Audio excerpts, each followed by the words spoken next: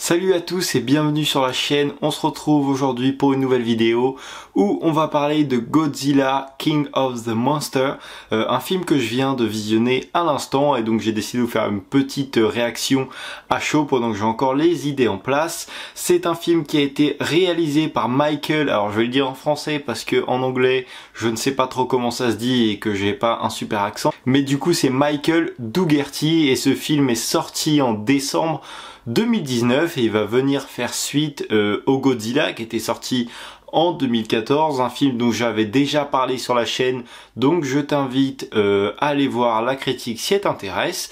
Et donc voilà, donc ça vient faire suite à celui-ci, et euh, bah, c'est ce qu'on va voir après, mais l'histoire va vraiment prendre suite par rapport à ce qui a été fait, et c'est pas quelque chose qui a été réinventé, c'est quand même pas mal de voir le début, euh, enfin les premiers films pour comprendre ce qui va se passer par la suite. Donc dans ce deuxième volet, si je puis dire, on vient faire suite, comme j'ai dit juste avant, au premier volet où Godzilla avait battu l'autre monstre et euh, Monarch, qui est euh, l'entreprise un petit peu secrète qui avait été mise en place et qui était déjà là en place pour travailler sur les monstres, tout ce qui était un petit peu surnaturel entre guillemets pour nous euh, qui n'était pas qui ne fonctionnait pas avec l'État. Là tout le monde veut un peu sa tête euh, voilà tout le monde veut que ça soit dirigé par l'armée etc l'État commence à en avoir un petit peu marre qu'elle soit libre.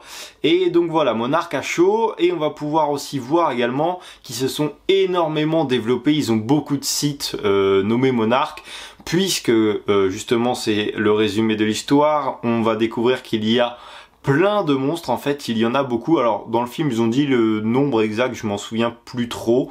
Euh, ça m'a pas plus marqué, on n'a pas plus mis l'accent euh, là-dessus non plus. Mais voilà, donc Monarch s'est beaucoup développé et en fait une de leurs scientifiques, euh, on va te montrer pendant le film des petits flashbacks euh, de l'attaque où il y a eu Godzilla qui se battait contre l'autre monstre, je me souvenais plus comment il s'appelait, mais voilà.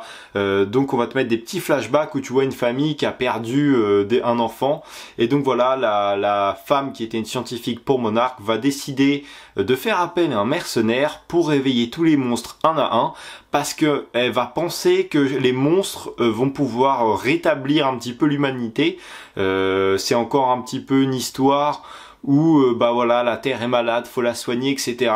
C'est un petit peu à la mode entre guillemets. Il y a pas mal d'histoires qui vont traiter de ça. Et donc voilà, en fait, elle rentre un petit peu dans une folie pour libérer tous les monstres. Et bien sûr, ça va pas se passer exactement comme prévu. Encore une fois, comme dans beaucoup de films, bah ça reflète, il y a toujours une part de réalité, toujours des petits messages cachés à droite à gauche.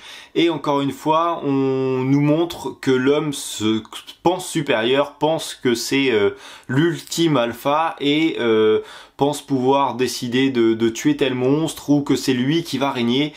Et encore une fois, on nous montre bah, qu'il peut toujours y avoir plus fort. La preuve, on n'arrive pas euh, à tuer euh, ces monstres, etc. C'est eux qui nous dominent à chaque fois alors qu'on veut nous les dominer. Et euh, t'as un petit peu l'impression qu'ils apprennent pas de leurs erreurs. Par rapport au premier Godzilla, je trouve que les effets spéciaux se sont un petit peu améliorés.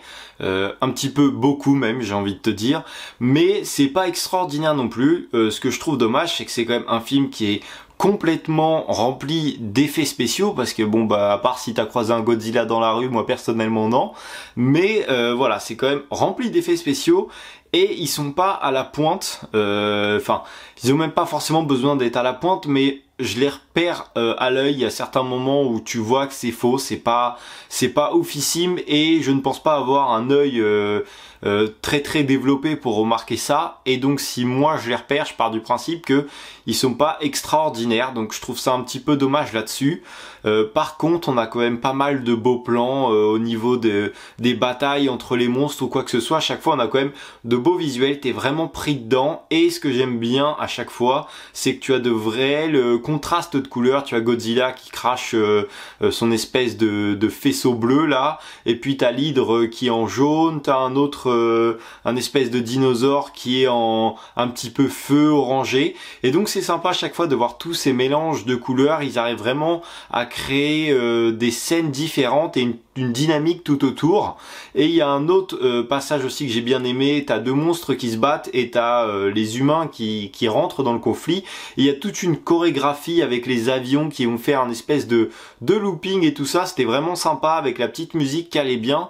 Euh, c'était un petit peu, enfin c'était bien coordonné dans cette bataille là et donc ça c'est plutôt cool. Il y a de jolis plans.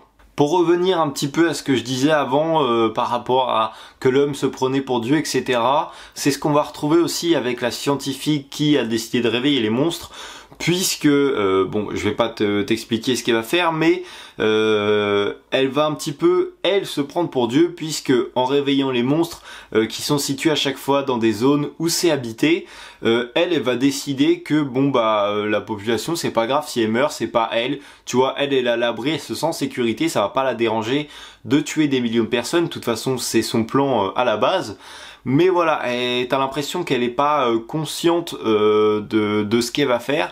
Tant qu'elle, elle est à l'abri, ça la dérange absolument pas. Il y a un autre point aussi qui m'a dérangé, donc le premier film est sorti en 2014, le deuxième en 2019, et ça c'est dit dans le film, puisqu'il te parle de l'attaque qui était il y a 5 ans, etc. Donc ils ont bien pris euh, conscience de ça, ils ont vraiment gardé le bon temps, et pendant ces 5 années où on s'est fait attaquer euh, par euh, les, monstres, quoi, et eh ben ils ont toujours pas développé une seule arme capable de, capable, pardon, de tuer un monstre. Alors, je comprends, il faut faire des tests, etc. Tu vois, même si tu développes un truc, faut bien l'essayer pour savoir si ça marche. Mais il y a personne euh, qui a bossé dessus, à part un militaire qui te pond ça. Au bout d'une heure de film, ça fait une heure qu'ils se font massacrer la tronche avec leur petit pistolet tout, tout naze, quoi. Et l'autre, il leur dit, bon, bah écoutez, on a développé un truc, on va essayer. On les prévient au dernier moment qu'il faut qu'ils évacuent, on lance le missile et au final, ça ne fonctionne pas. Euh, donc ça, je trouve ça pas forcément crédible. Ça m'étonnerait que si on avait euh, une attaque comme ça, euh, l'armée, l'État, etc. Ne, ne ferait pas quelque chose pour développer des armes pour pouvoir se défendre. Honnêtement, ça, ça m'a un petit peu dérangé. Ça fait comme si, euh, bon, bah, il s'est passé ça, on a subi, euh, on s'est senti inférieur pendant la première attaque, mais on va continuer, on laisse ça comme ça. Et euh, en plus de ça, ils se sentent toujours puissants avec leur petite mitraillette à tirer sur le monstre, alors que ça ne lui fait absolument rien. Après, tu vois que vers la fin, ils ont un petit peu compris, ils s'en servent pour détourner l'attention, l'amener où ils veulent, etc. Mais voilà, tout le début du film, ça veut dire qu'en 5 ans, ils ont rien foutu, ça leur a pas servi de leçon et on continue euh, comme ça et bon, ça j'ai trouvé que c'était un peu moins crédible quoi. Bon, j'ai une petite critique à faire sur un des personnages principaux euh, qui est euh, Mark Russell qui est joué par Kai Chandler, donc un acteur je sais pas, sa tête me dit quelque chose, mais je ne l'avais jamais vu avant et honnêtement, il m'a dérangé pendant tout le film. Le film dure aux alentours des deux heures et pendant deux heures, franchement, il m'a mais gonflé. Franchement, ce mec euh, a vraiment mal joué. Alors je sais pas, si t'as vu le film, dis-moi ce que t'as pensé euh, en général des acteurs. Mais voilà, je trouvais que tout le monde s'allait, mais alors lui, il m'a vraiment saoulé. Euh, aucune expression, le mec devait avoir deux expressions pendant tout le film. Euh, T'y crois pas, quand tu le regardes en plus, il y a plein de scènes où ils font des gros plans sur sa tronche, mais euh, honnêtement, quand il joue, t'y crois absolument pas, t'es pas rempli dans ses émotions. Enfin voilà, moi j'y ai pas cru, il m'a, franchement, il m'a saoulé. Et limite, ça te sort légèrement du film. Donc voilà, je trouve ça dommage. Et plus la voix française qui ont mis dessus qui allait absolument pas. Je trouvais pas que ça collait. Euh, la voix n'était pas non plus euh, bien faite, tu vois. ça collait, ça allait avec l'acteur en fait. Ça rentrait pas dans les émotions, etc. Donc ça, j'ai trouvé ça carrément dommage. Dans le film aussi, il y a une autre petite référence euh, que je pense avoir remarqué. Le personnage de Alan Jonah qui est joué par Charles Dance qui est euh, un Lannister dans Game of Thrones et à un moment il fait une petite référence qui a été réutilisée deux ou trois fois je crois dans le film mais c'est lui qui la sort en premier. Moi je l'ai pris comme ça, je sais pas si c'est euh, vraiment ça, dis-moi pareil ce que t'en as pensé si tu as vu le film bien sûr, mais euh, un moment il est, enfin ils sont en train de discuter quoi et il dit, il est, avant de quitter la scène il dit longue vie au roi et moi, je l'ai pris comme une référence à Game of Thrones, étant donné qu'il faisait partie de la famille, etc. du roi. Moi, en tout cas, j'ai cru voir une référence. Alors, je sais pas si c'est moi ou si c'était vraiment une référence. Dis-moi ce que t'en penses en commentaire. Bon voilà, c'est tout pour ce petit retour de Godzilla King of the Monster. Euh, bon, j'ai aimé le film, franchement c'est un bon film. Pour l'instant j'ai vu Godzilla, euh, Kong et bah celui-ci maintenant. Honnêtement j'ai bien aimé tous les films, petite préférence pour Kong, euh, pour l'instant que j'ai préféré. Je me suis vraiment attaché euh, au monstre et je trouve que le scénario est pas forcément meilleur, mais les effets spéciaux étaient un petit peu mieux. Après, honnêtement, c'est une petite série que je découvre et j'adore. Donc là, je suis impatient, il me manque à découvrir Godzilla vs Kong. Mais honnêtement, c'est un film que j'ai bien aimé. C'est un peu dommage, les effets spéciaux laissent à, désirer, pardon.